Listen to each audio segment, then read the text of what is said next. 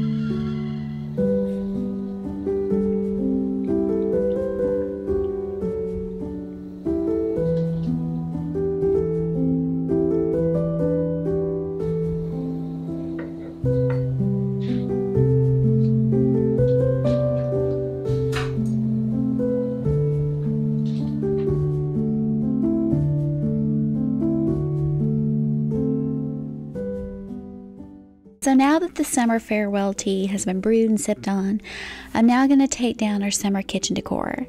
These past few years, I've been using a lemon theme in our kitchen lemon salt and pepper shakers, lemon tea towels, little lemon trees.